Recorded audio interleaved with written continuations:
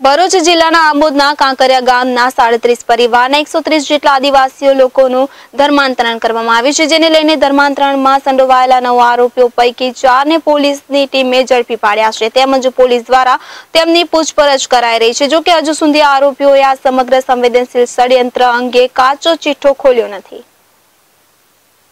ભરૂચ જિલ્લાના આમોદના કાંકરિયા ગામના સાડત્રીસ પરિવારના એકસો ત્રીસ જેટલા આદિવાસીઓને મુસ્લિમ બનાવવાના ષડયંત્રમાં ડીવાયએસપી કક્ષાએ તપાસ ચાલી રહી છે.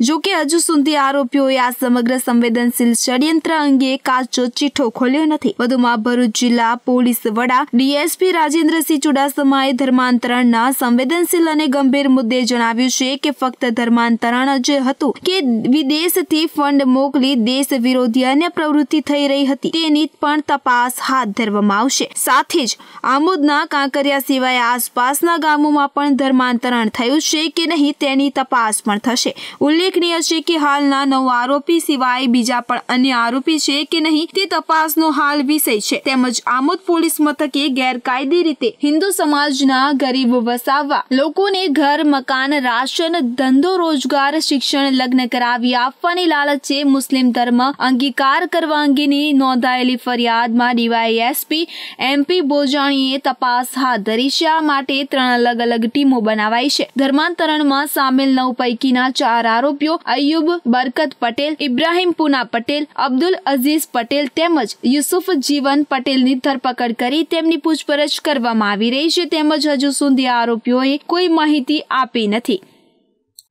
નમસ્કાર. આપ સૌ મિત્રો જાણો છો આમોદ પોલીસ સ્ટેશનમાં. હિન્દુ ધર્મમાંથી મુસ્લિમ ધર્મનું ધર્મ અંગીકાર કરવા બાબતનો એક ગુનો દાખલ થયેલો છે. જેના ફરિયાદી છે શ્રી પ્રવીણભાઈ વસંતભાઈ વસાવા. ટૂંક વિગત એવી છે કે આ આખું રેકેટ કે ષડયંત્ર ધીમી ગતિએ છેલ્લા પંદર વર્ષથી ચાલી રહેલું છે. એમાં સૌ પ્રથમ આ ફરિયાદી શ્રી વસાવા હિન્દુ હોવાના નાતે એમને મુસ્લિમ ધર્મનું થોડું ઘણું જ્ઞાન મળતા સૌ પ્રથમ આ પ્રવીણ મુસ્લિમ ધર્મ અંગીકાર કરે છે.